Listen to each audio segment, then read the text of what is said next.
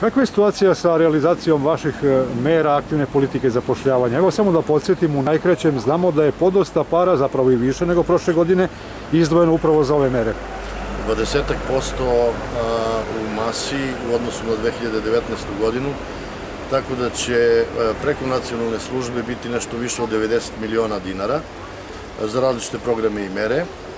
Kroz tehničku podršku ovaj, jedno desetak, 12 miliona i kroz sufinansiranje koje očekujemo, to je treći model, znači udruživanje sredstava nacionalne službe i lokalnih samouprava,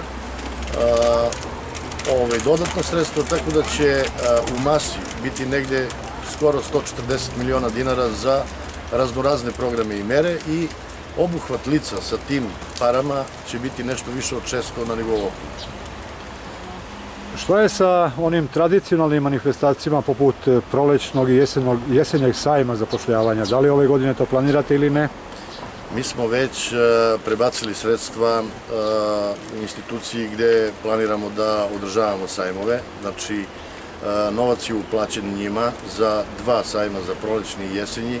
S obzirom na ovu situaciju i ukoliko ona potraje u budućnosti 2, 3, 4, 5 meseci, ne znamo ovaj, kako će se stanje odvijati, mi ćemo raditi virtualni sajmove.